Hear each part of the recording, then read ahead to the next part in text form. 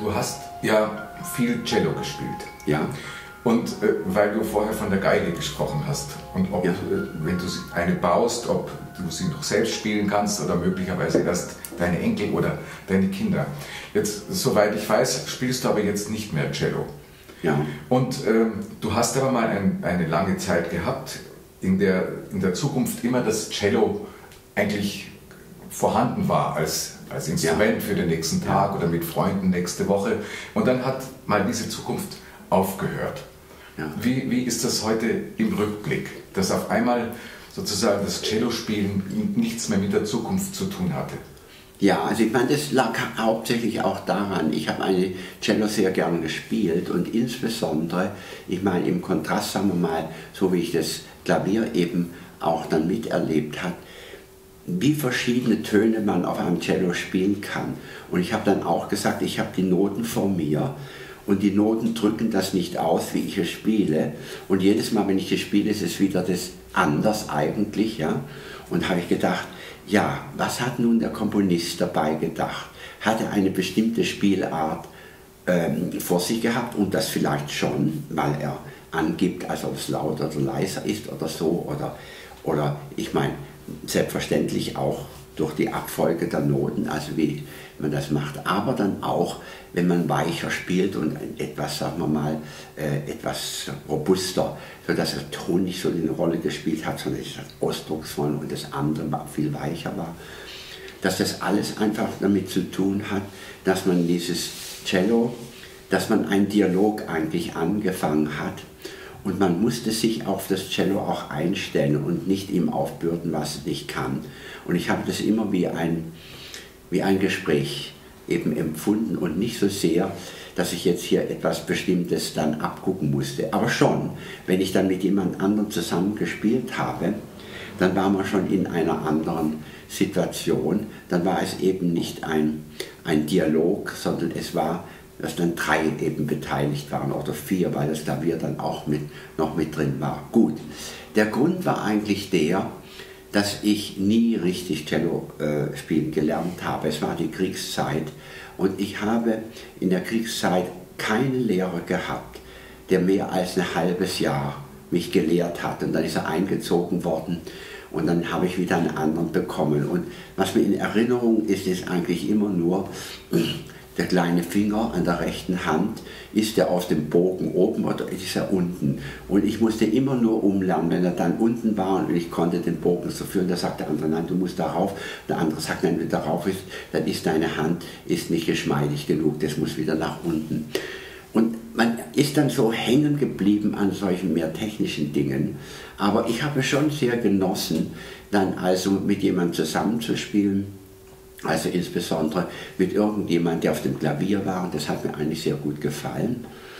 Aber die haben das immer langweilig gefunden, weil ich dann irgendeine Cello-Sonate genommen habe und dann hat das Klavier hat nicht viel damit zu tun gehabt. Und die haben gesagt, ne, also jetzt machen wir mal was anderes. Dann hat, hat man Stücke genommen, wo das Klavier die Hauptsache macht und, und ich machte nur so ganz einfach große Striche hin und her.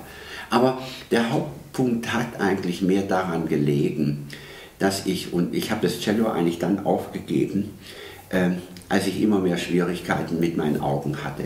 Ich habe nicht gut gesehen und, und ich habe immer Schwierigkeiten gehabt und, und ich bin auch von meinem Beruf her immer auf einem Stuhl gesessen und in der Freizeit wieder auf einen Stuhl zu äh, sitzen und etwas Noten vor mir anzusehen und die zu interpretieren, war für mich einfach nicht äh, äh, ein, ein, ein Ausgleich genug. Und dann habe ich einfach gesehen, das hat mir einfach, diese Sache hat mir gefehlt. Und nach einer gewissen Periode habe ich mich dann wieder hingesetzt und war eigentlich enttäuscht.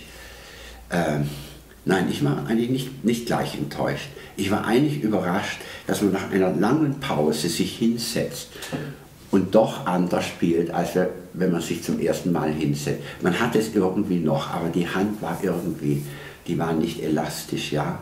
Und, und, und, und selbstverständlich der Bogen und all das, sodass ich das dann einfach wieder habe fallen lassen.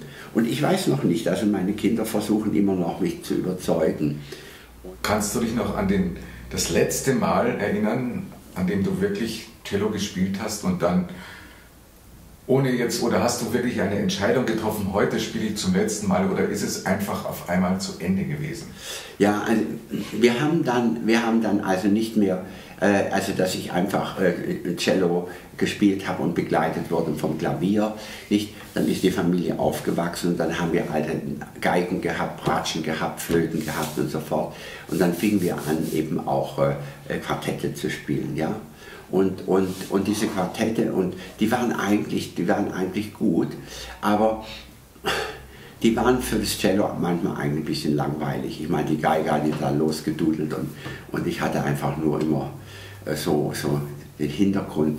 Das hat mir nicht so gepasst, aber die übrige Familie sagte, ist es nicht toll, wie man zusammenspielt. Und das habe ich auch gefunden, dass es toll ist, ja, irgendwo.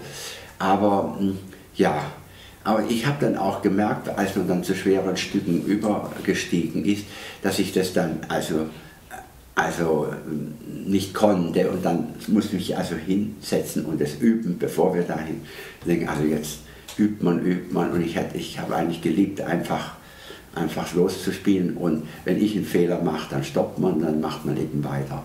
Also es war für mich nicht ganz so toll, wie eigentlich begleitet zu werden von jemandem, ja, es dann auch eine Frau war, die ich also sehr gut mo sehr mochte, mochte eigentlich mit diese Atmosphäre. Ja. Und dann dachte ich, na, also das ist eigentlich nichts mehr. Aber ich meine, dann sind, sind auch meine Reisen dazu gekommen, wo ich also nur zum Teil eigentlich nur mein Cello dann mitgenommen habe. Und ich habe dann auch mein Cello, habe ich, habe ich auch dann einfach in Amerika gelassen, weil ich gesagt habe, wenn ich da hinkomme, dann ist es da. Und dann bin ich nicht so oft hingekommen, dann habe ich mir ein neues Cello gekauft hier, das habe ich dann auch ganz gern gemocht. Aber dann war wieder eine Pause, dass ich dann nicht geübt habe und so fort. Und dann ist einfach so viel anderes dazwischen gekommen, dass mich auch mein Beruf also so wahnsinnig dann ähm, äh, begeistert hat, dass ich so meine ganze Kraft auch in das hereingesteckt habe. Und aber ich habe eigentlich immer, also das, was die Musik eben ausmacht, das hat für mich immer eine große Rolle gespielt, weil ich festgestellt habe, dass die Lehrer, die ich hatte, die Physiklehrer, die ich hatte, dass das alles Künstlerwissenschaftler war. Auch Edward Teller. Ja, Edward Teller. Ist das ein stehender Begriff, Künstlerwissenschaftler? Nein, das sage ich. Ich mhm. nenne sie Künstlerwissenschaftler und ich nenne äh, dann Ingenieurwissenschaftler und mathematischen Wissenschaftler und die sind ganz total anders. Und der Künstlerwissenschaftler, der ist eben, und das war auch Edward Teller, ja, Vater der Wasserstoffbombe, bin ich. Ich, wir haben, äh, wir haben äh, Klavier-Trio äh, gespielt. Also er hat Klavier gespielt, ich habe Cello gespielt und dann noch ein anderer Professor hat Geiten gespielt. Also da habe ich schon auch mitgemacht. Nicht? Aber der war sozusagen so auf sich bezogen, dass er gar nicht gemerkt hat, wenn wir nicht mehr dabei waren, hat er einfach weitergespielt und hat gar nicht gemerkt, dass er allein war. Das war eben Teller, ja der, der hat große Freude gehabt, aber er hat also zum Zusammenspiel eigentlich etwas ungeeignet. Gut,